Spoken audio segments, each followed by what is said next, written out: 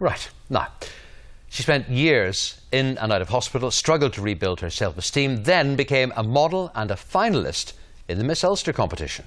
Well, now she's enlisted the help of Fixers, the campaign that gives young people a voice to urge other young people never to give up. I spent a good couple of weeks in hospital nearly every month because of these headaches and I was going into cycles of seizures. I had lost so much weight, I'd lost so much hair, and I just didn't look myself. My name's Seana O'Connor, I'm 18 years old and from Enniskillen. My Fixer project is to get younger people to do more things that give them better confidence and more self-esteem. Near four years ago now, I had developed a lot of headaches. There was one day in school, I took a seizure and I was brought up to Erne Hospital. I can just remember waking up and doctors all around me and I had the worst headache and I just didn't have a clue where I was. During those three years, I was barely at home. I was barely at school. My main place was hospital. I had no confidence. I had no self-esteem. I was so skinny and just really frail. And that was just really scary when I seen that.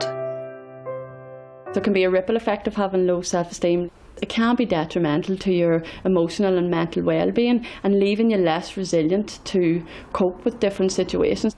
I think Seana is definitely a role model within this area for young people about boosting self-esteem. Her own story in itself, you know, has bound to be an inspiration to some of the young people in the area.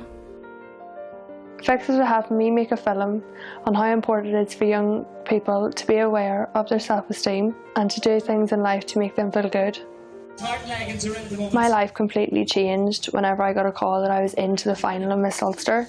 I was just so happy and my confidence was just above the roof. I am meeting up with a former Miss Northern Ireland to see if her confidence boosted as much as mine did.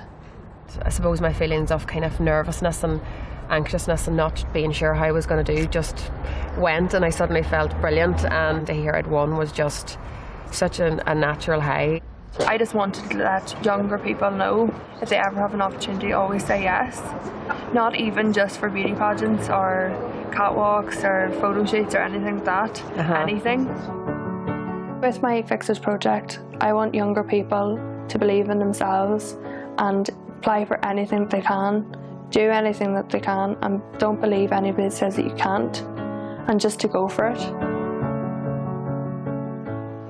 And to see more about Seana's campaign or indeed Fixers, visit our website, u.tv.